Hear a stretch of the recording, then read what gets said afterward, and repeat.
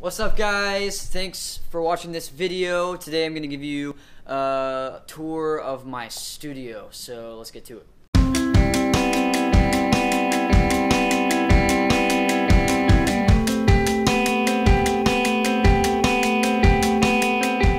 So we'll start over here with my drum kit. That's kind of torn down right now. I don't really use it because I have a new kit, which a couple videos back I reviewed that kit and like everything about it, and it's pretty sweet. So I don't really use this much anymore. Over here we have a keyboard, um, just a Yamaha. It's not really that interesting, but I do some practicing and stuff on it. So, and then here's Elf. Um, he's a very essential part to my video editing.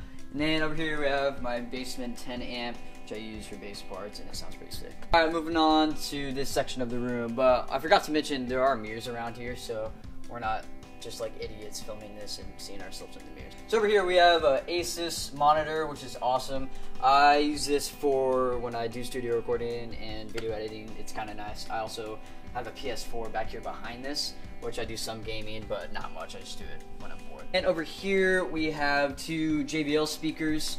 Um, which I use for anything I'm doing on my computer. I have a 2012 MacBook Pro right here, and then I have a PreSonus Monitor Station version 2, which is super nice for music recording, and um, this is super helpful. And then over here I have the 18i20 Scarlett interface rack, which I use for all my drum mics and run all the lines to that.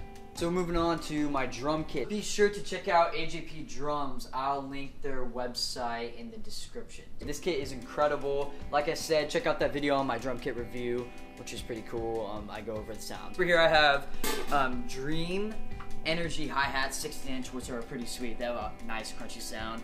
I have uh, the Meinl 22 inch extra thin Crash Ride, which is pretty awesome. Um, I love dry cymbals. Hardware, I always use DW. DW, in my opinion, is like the best hardware. And I have these mics set up for recording. Over here we have my elf who helps with my guitar playing, my amp, and my awesome pedal board, and my awesome guitar, and my guitar case with all my guitar essentials. Sir? Over here we have just another really awesome music desk. Um, I have a couple cymbals on here, a couple drum parts, and then under here we have uh, just more drum parts and stuff that I don't use a lot, but it's a nice area for storage. Also, I helped Blake film this video, so I was he shot some of it and I shot some of it too. Check out his channel.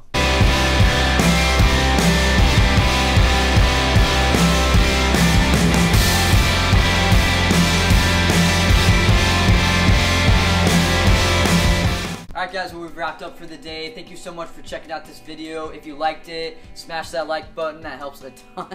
and then if you have any other suggestions or studio comments or whatever that I could make this studio better, uh, comment in the comment section. And we will see.